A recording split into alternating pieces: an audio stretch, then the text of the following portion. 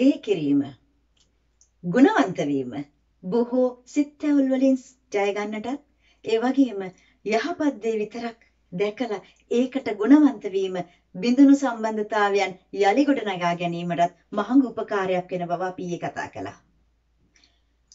එහෙම නැතුව ඔබ විශාල අසාධාරණයකට ලක් වූ කෙනෙක් නම් කතන්දරේ වෙනස්. ඒ ගැන අපි අද කතා කරමු. අපි මෙතනදී උදාහරණ කීපයක් අරගෙන බලමු මොකක්ද ඇත්තටම මනස තුල සිද්ධ වෙන විපර්යාසය කියලා. ඔබ කෙනෙක් එක්ක ප්‍රේම සම්බන්ධතාවයක් පටන් ගන්නවා විවාහ වෙන අරමුණින්.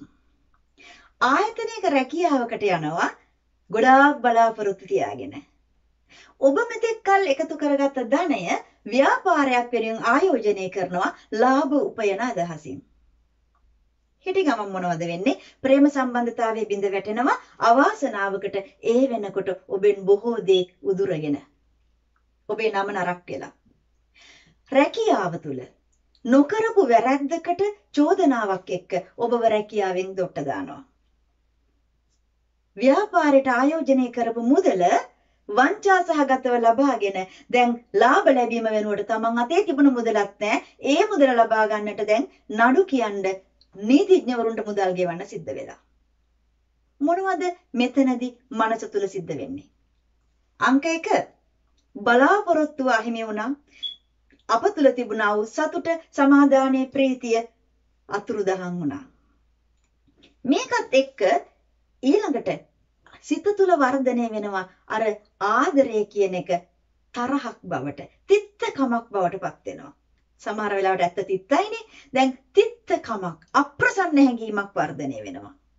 තව ඉදිරියට යනවා. එතකොට මොනවද වෙන්නේ? තරහව, ක්‍රෝධය, නොමනාපය වැඩි වෙනවා. අර පුංචි කළු තිතකින් පටන් ගත්ත ඒ සිදුවීම, ඒ සිතුවිල්ල දැන් විශාල වෙලා විශාල වෙලා ඝන කළු කළු ගලක් වගේ හිත ඇතුලේ දැන් වර්ධනය වෙනවා. තවත් ඉදිරියට යනවා. දැන් ඔබ ඒ පුද්ගලයාට වෛර කරන්න පටන් ගන්නවා. වෛරය කියන එක හරි බරපතල තැනක්. නමුත් දැන් වෛරය කියන එක වර්ධනය වෙනවා. තවත් ඉදිරියට යනවා. තව ඉදිරියට යනකොට Tamanට බොහෝ පාඩු සිද්ධ වෙලා ඉවරයි. එතකොට මේ වෛරය බද්ධ වෛරයක් බවට පත් වෙනවා. ඇයි ඒකට බද්ධ වෛරය කියලා කියන්නේ? ඒ වෛරය අපේ සිත සමග, ශරීරය සමග, ආත්මය සමග බද්ධ වෙලා ගලව ගන්න අමාරුයි. ඒකයි ඒකට බද්ධ වෛරය කියලා කියන්නේ. බලාපොරොත්තු කඩවීම කියන තැන ඉඳන් ෆ්‍රස්ට්‍රේෂන් කියන තැන ඉඳන් දැන් අපි මේ හේට්‍රඩ් කියන බද්ධ වෛරය කියන තැනට ඇවිල්ලා. මේ වෙනකොට බාහිරින් බලන ඕන කෙනෙකුට තේරෙනවා ඔබ කතා කරන්නේ තරහින් සැරපරුස වචන ඔබ ක්‍රියා කරන්නේ තරහින් ඔබ ආවේගශීලී කියලා එයාලට තේරෙනවා. ඒ විතරක් නෙවෙයි තමාගේ ආහාර රුචිය අඩු වෙලා ශරීරේ බර අඩු වෙලා නිින්ද නැහැ. මේ බොහෝ ශාරීරික රෝග ලක්ෂණත් මේ වෙනකොට ඇති වෙනවා. තවදුරටත් යනවා. දැන් මොකද වෙන්නේ? හොඳට අපි අවබෝධ කරගත යුතුයි අපේ මනසට දරා ගන්න පුළුවන් සීමාවක් තියෙනවා. මේ සීමාව දැන් කාලයත් එක්ක සීමාව ඉක්මම යනවා. එතකොට මොකද වෙන්නේ? මේක පිපිරිලා මේ පීඩණය එළියට නැත්තම් පිටාර ගලන්න පටන් ගන්නවා. කොහටද ගලන්නේ? ගලන්න තියෙන හොඳම සහ ආසන්නම ස්ථානය තමයි තමන්ගේ ශරීරය.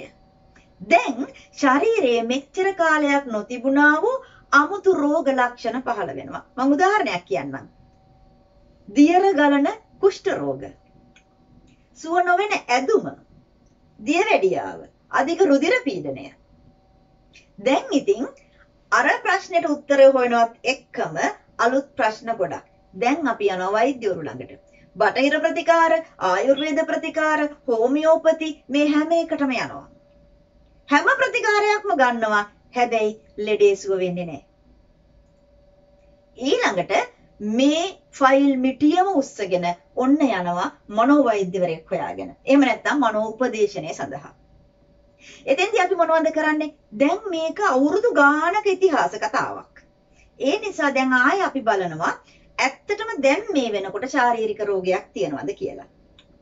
ඒ නිසා ආයෙම රුධිර පරීක්ෂණ, මුත්‍රා පරීක්ෂණ, ස්කෑන් පරීක්ෂණ මේ දේවල් කරලා බලනවා. හුඟක් වෙලාවට අපිට හෙවෙන්නේ කිසිම රෝගයක් නැහැ. එයා ශාරීරිකව නිරෝගී. නමුත් අපිට පේනවා රෝග ලක්ෂණ. මේවට අපි කියනවා මනෝකායික රෝග කියලා. සයිකෝසොමැටික් ඩිසෝඩර්ස් කියලා කියනවා.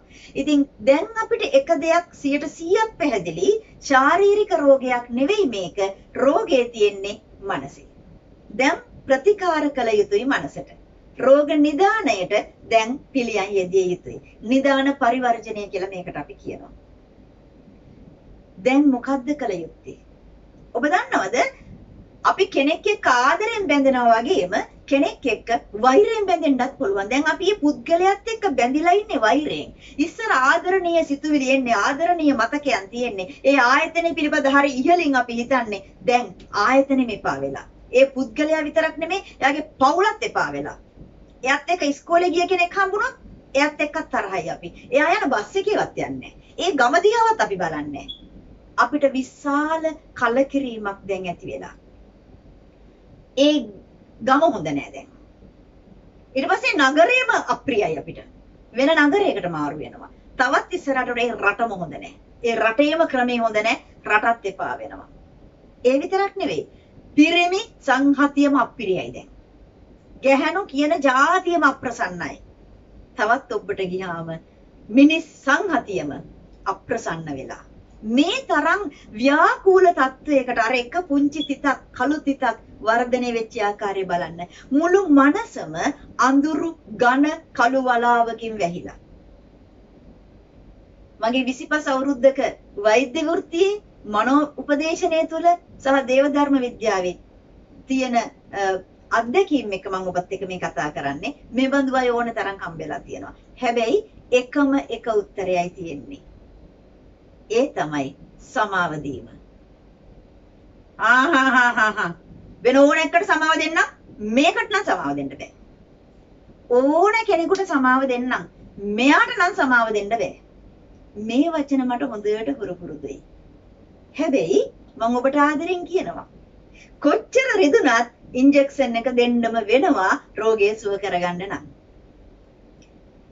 අර මම කියවනේ ආදරෙන් බැඳනවා වගේ වෛරයෙන් අපි ඒ පුද්ගලයාව බැඳගෙන ඉන්නවා කියලා මේ වෛරයේ බැම්ම දැන් කපා දමන්නට ඕනේ. ඒ බැම්ම කපලා දමලා ඒ පුද්ගලයාව නැත්තම් ඒ ආයතනයේ මොකක් හෝ නිදහස් කරන්නට අවශ්‍යයි. ඒක නිදහස් කරන තාක්කල් මේ බද්ධ වුණා වූ වෛරයෙන් ගැලවෙන්න බෑ.